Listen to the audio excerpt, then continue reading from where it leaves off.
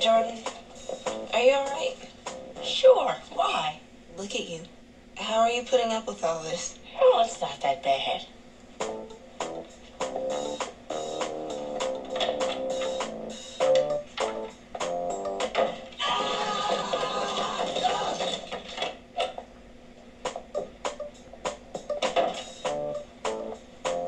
Hello, Vanessa.